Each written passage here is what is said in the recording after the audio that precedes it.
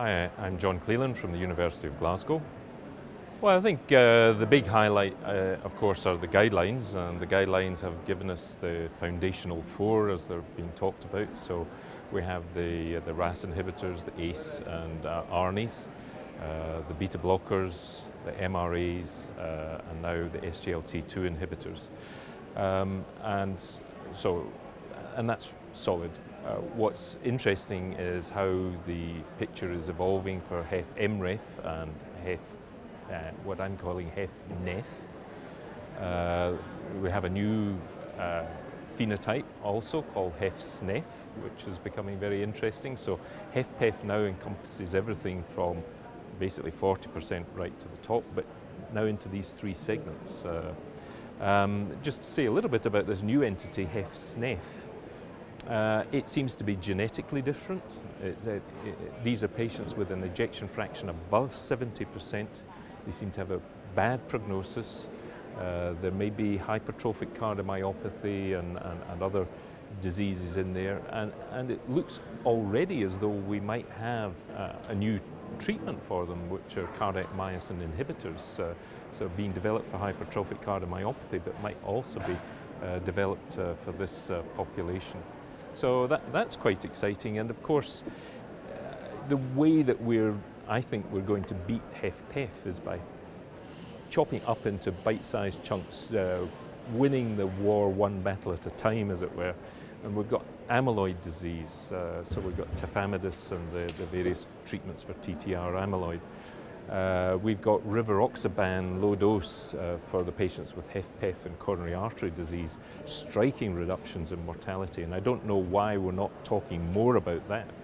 And then we, now we've got the SGLT2 inhibitors, which seem to be effective certainly for HFmrEF and HFnEF. Not quite so sure about HFsnEF. We need a bit more information uh, on their efficacy for, for that population. Um, We've got a little bit of news about the DELIVER study. Of course, the EMPEROR PRESERVE study is the one that's uh, been the first of these SGLT2 inhibitors that's shown benefit in this upper range uh, ejection fraction group. But now we have the DELIVER study, which has indicated that it's also positive. We are expecting that that's mainly going to be driven by a reduction in heart failure hospitalizations and hopefully an improvement in quality of life, which is very important for this population. Not expecting to see a reduction in mortality, but who knows, we might get lucky. Um, what else is out there? Uh, the Diamond study with uh, uh, patiromer, uh, showing that we can get better control of hyperkalemia, which might allow us to facilitate the use and implement uh, target doses of RAS inhibitors and MRAs. Um, what else is out there? New information, uh, particularly on CRTP, a new meta-analysis in the, uh, the, European Journal of Heart Failure, combining the companion and CARE-HF data, showing striking benefits of the uh, CRTP without the defibrillator, so just nice confirmatory data. Uh, a lot of interest in atrial septal devices for HFpEF.